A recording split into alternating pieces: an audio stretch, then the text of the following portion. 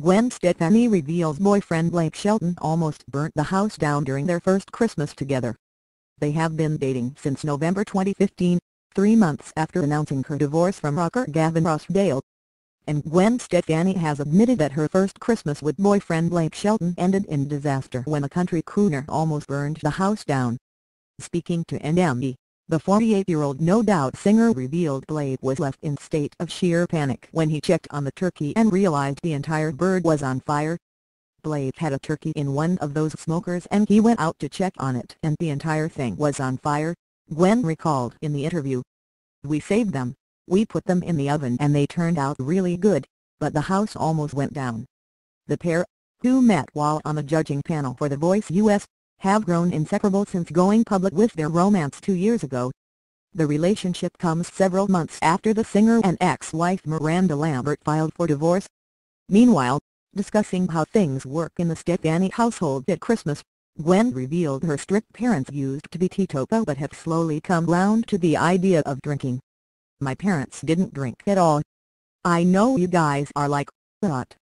They were super strict and conservative, but now we do drink she said.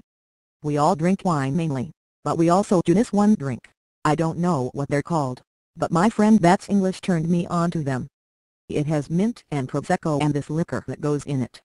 Explaining what the Italian-American clan serve on the big day, she added, last year we did everything, homemade gnocchi and my mum's lasagna and manicotti for the vegetarians. Gwen also talked about their family traditions, saying her parents would gift wrap their hallway every Christmas morning, we have a really cool thing that we do. My parents are amazing and every Christmas morning we'd wake up and all four of us would be in the hallway. The archway going into the living room would be completely gift-wrapped and we'd crash through it. I think it's awesome. Gwen, who has three children with ex-Gavin, Kingston, 11, Zuma, 9, and Apollo, 3, also reflected on the true meaning of Christmas. When you really look back, all you have is your memories, she mused. You don't realize it at the time, but now that I'm older and I have children you realize that it's about making memories. The holidays is an interesting time, it's a time that you reflect on yourself, on the year, what you have done, what do you want to do, your dreams. There's a lot of reassessment, there's a lot of pressure and pain and joy. The No Doubt star, who has put out a Christmas album You Make It Feel Like Christmas, admitted she's slightly concerned about how to do Yule in the UK your Christmas is different, your stuffing is different.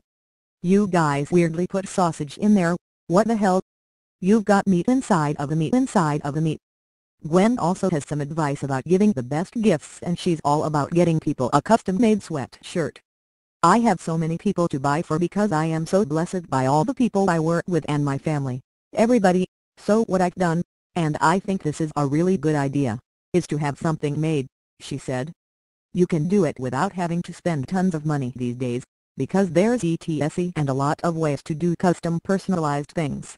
Nobody's seen it yet but I'll tell you what it is because it's OF asterisk asterisk king good. It says Anytime Hillbillies on the front in Old English font and on the side it says Love is old school, Truth is gangster.